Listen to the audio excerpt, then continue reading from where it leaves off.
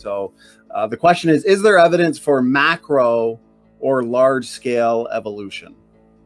Well, the evidence that's put forth, I think, is not good evidence. Um, there are two major reasons. If you put most of the reasons that macroevolutionists try and give for their viewpoint, you could talk about the similarity in the genetic code between uh, certain creatures and homology, which is the structure of these living things. So let's just call it DNA and homology.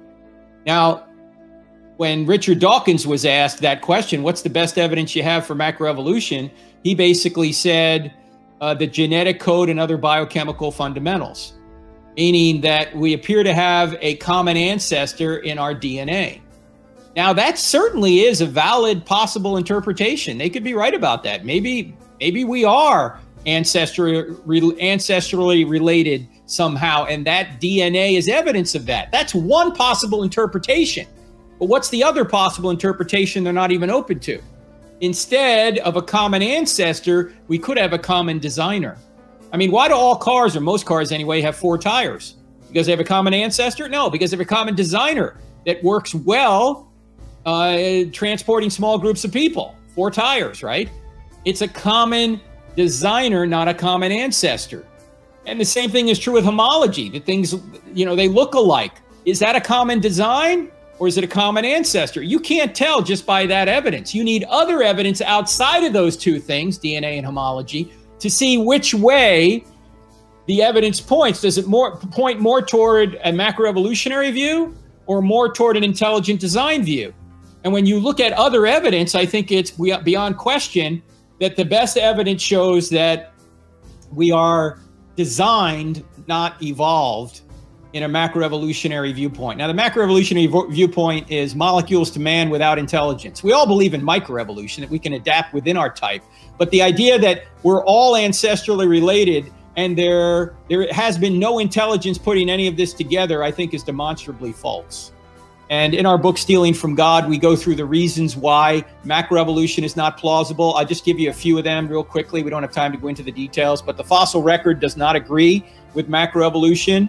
Epigenetic information does not agree with macroevolution. That's the structure of the cell that can't be modified by DNA. You can mutate DNA from now till doomsday. You'll never get a new body plan. And even Darwinists are starting to admit this. Irreducible complexity does not allow something to be modified gradually and still have function. All the pieces and all the parts need to be there in working order for you to have the right function at all. So that seems to defeat this gradualism that Darwinism talks about.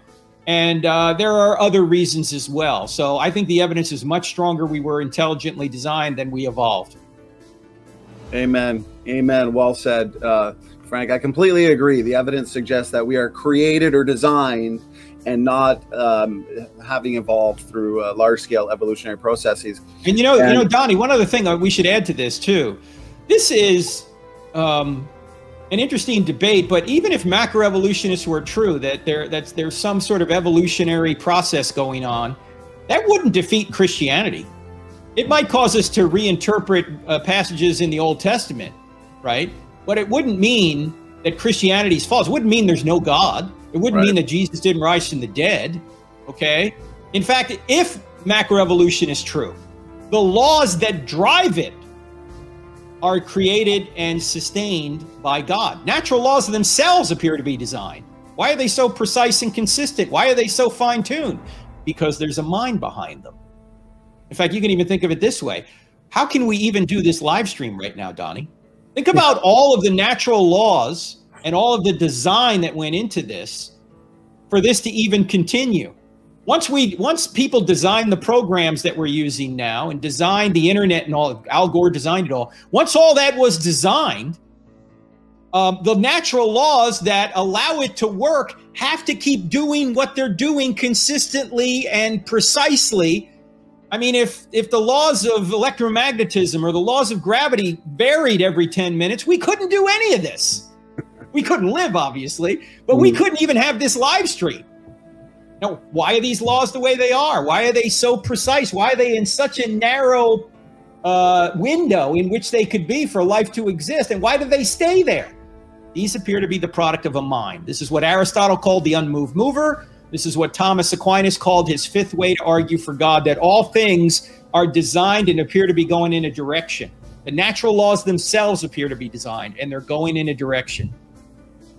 Amen. Amen. The naturalists are stuck between a rock and a hard place because, as you point out, the evidence is not necessarily in favor of universal common ancestry, but hypothetically, if it were, it's still no help to the naturalist.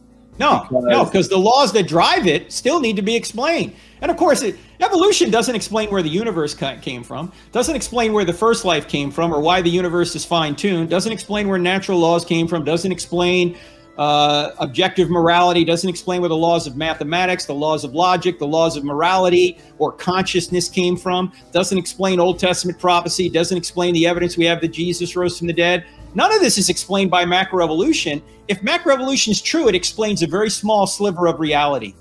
It doesn't explain what we really need to be explained if we're going to have a worldview that has the proper explanatory power and scope to explain what we're what, what we actually observe. Amen. Amen. And I like what you're saying about just the ability to live stream like we are.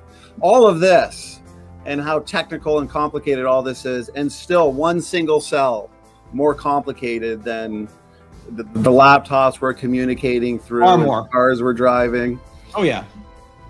So in fact, I, I don't know if you know, you probably heard bio. I think it's called biomimetics. Yeah. Where we study natural machines in nature and try and mimic them because nature does it better than we do. we have scientists looking at cells and little machinery in cells going, how can we design something like this out here? Because man, this thing is so amazing, so efficient. How do we do this? And so we're studying nature to learn how to design stuff ourselves. and all of that came about by chance for no reason yes. at all, apparently, according to the uh, naturalist. So great response and, and great answer, Frank. As a quick reminder to everyone, hit that like button. It actually does help. Team Standing for Truth is out.